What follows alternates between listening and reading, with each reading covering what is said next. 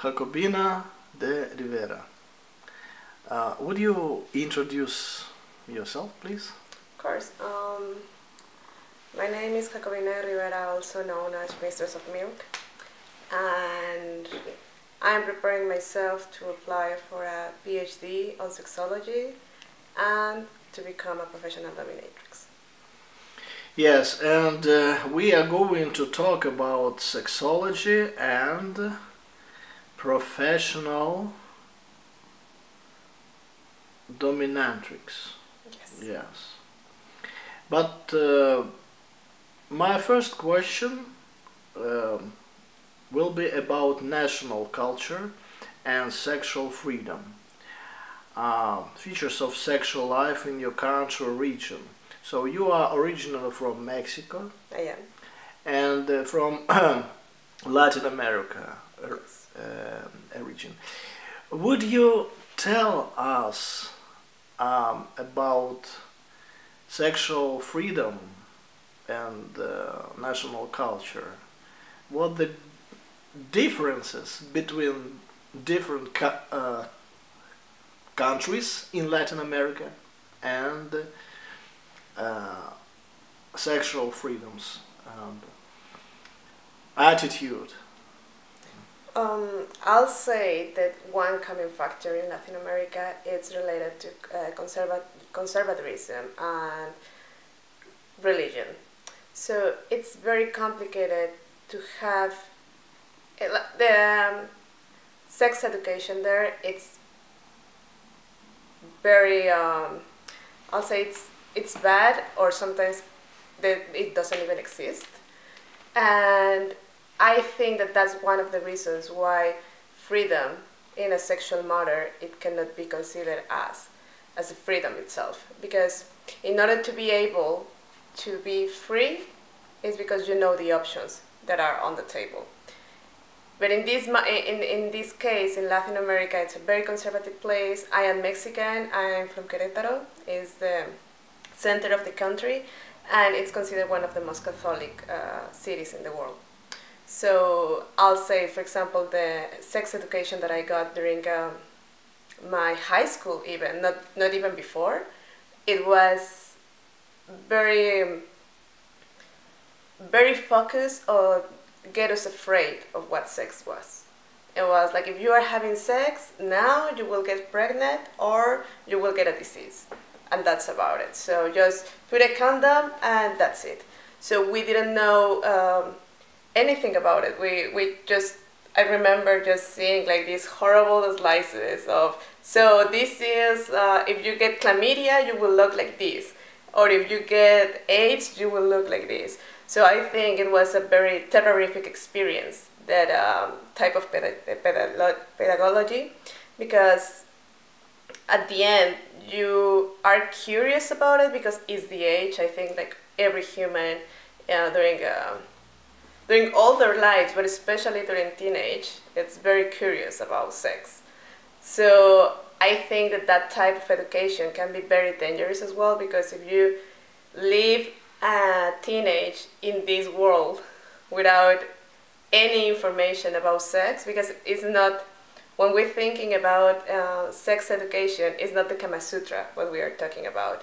It's uh, we're talking about how to prevent child abuses, for example if a child knows what is happening, if a child could be informed what is wrong and what is right related, like sex related, perhaps they will have more uh, tools to, or we could have more tools to prevent that. Because if, if, if, the children, they don't know what's going on, they don't know if it's good or if it's right.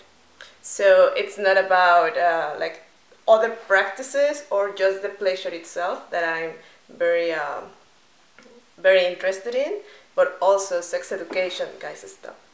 Um, sex education related to to prevention prevention of, for example, um, child abuse, uh, rapes themselves, like sexual violence, uh, teenage pregnancies. There are a lot of things that we could resolve with this information, but unfortunately, in regions like Latin America, it, it's not a thing yet. We are I think uh, we are fighting for it. We are getting there, but it's still there is a lot of work to do.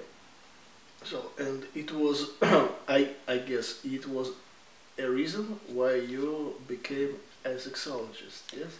Also, to yeah. know, to know how to enjoy, yeah?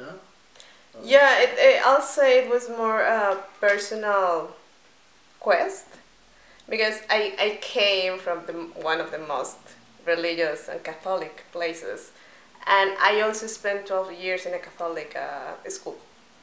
So I think like all this this information that we got, and I'm also like I was also in high school when internet started to be a thing for uh, searching information. So I think that helped a lot and um, then I started to think to, to have a lot of questions that I didn't know how to answer because if you um, search on internet sometimes you can get a very bad information there as well. So you also need to know what exactly you are looking for in internet. And I was very young I didn't know and I just started uh, feeling very curious about this this uh, field of life because of course I started like getting more into uh, sexual affective relations during my life and I wanted to understand what was going on so I think that's how it started Um, you said that your culture is so conservative, still, still conservative. yes In it is. spite of uh, freedoms, open borders, uh, educational systems, um, internet influence. I'll say it's um, related to poverty. Uh, Mexico is a, po- a poor country, as almost all Latin American uh, countries are. Uh, for example, uh, 60% of our population, we are 125 million people. 60% of those millions of people, they are in, in poverty.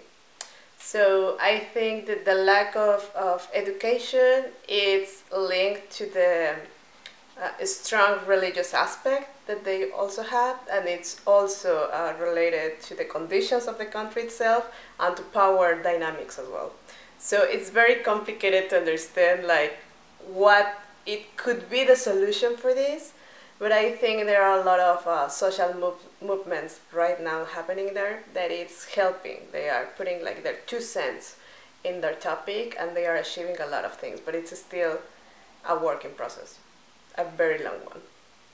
So, do you think uh, that poverty is um, um, uh, uh, limits limits uh, human sexuality Yes. and influences to uh, uh, sexual intercourse? Yes. How? Um, what way? I'll say that, um, for example, there are some studies regarding uh, the equality of genders.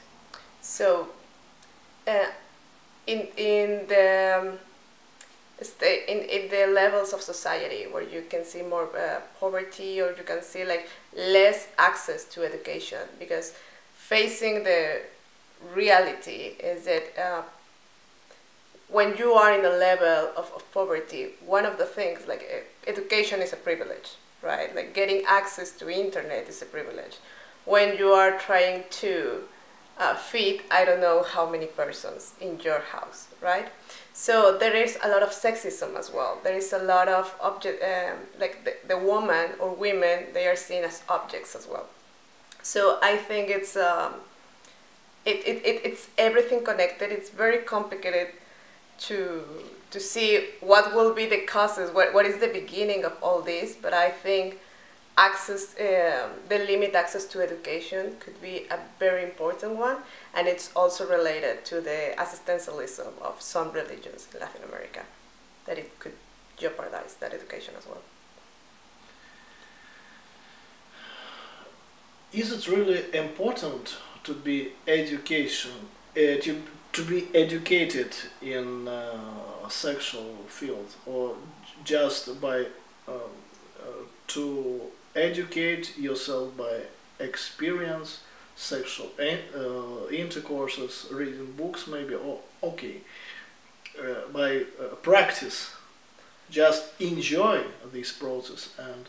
I think it's very dangerous because, for example, a lot of sex education it's coming from porn itself, for, from pornography, but from uh, what people it's watching on, on the TV, what it's watching uh, in sometimes in, in banned uh, places on internet, for example.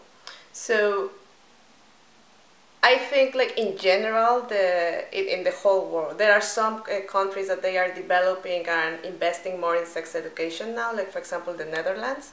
The Netherlands they start their sex education on the kindergarten, for example, because they have that view of um, avoiding, uh, preventing, as, um, child abuse, for example. So, and there are some others that there is just lack of it. Like it, it's prohibited in the countries. And I think the ignorance that we have as a society about it, it's so big that, for example, the first time that the whole anatomic map of the clitoris was shown to the world was in 2003. This means that we went to the moon. We were sending already like some other spaceships uh, to, to find intelligent life somewhere in the space, and we didn't know like the, the whole function or the whole anatomic map of the clitoris.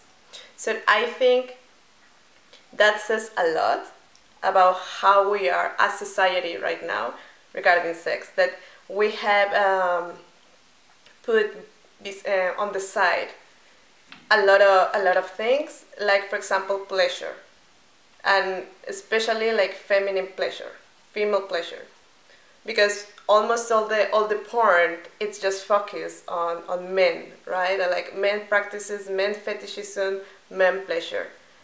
And um, coming back to the, to the original question where it's like if people they are learning what sex is about from porn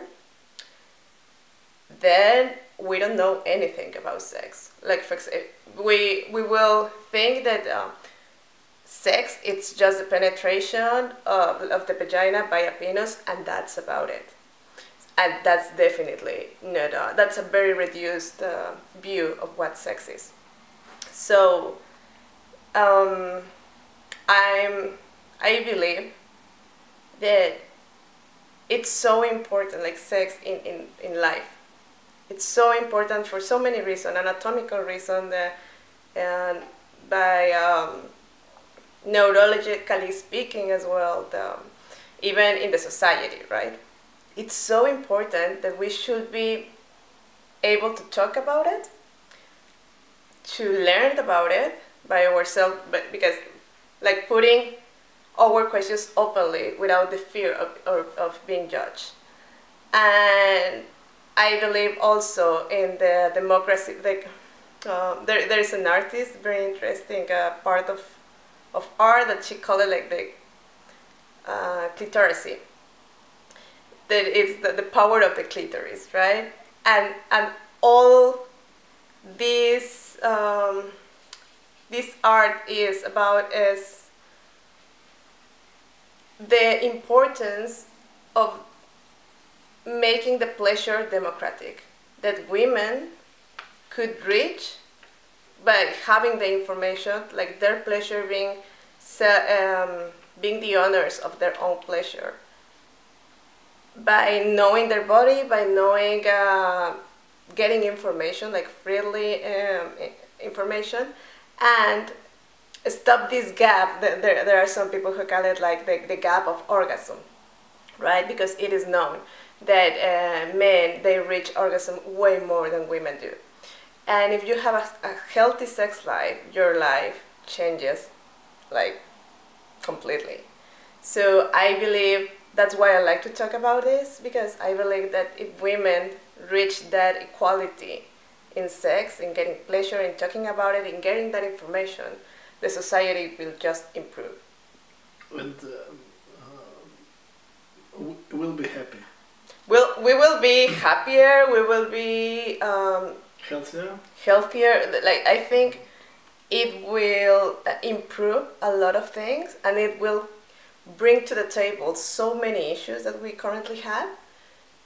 That um, that just putting those issues uh, on on the topic to talk about it will help the society, like in general. Great.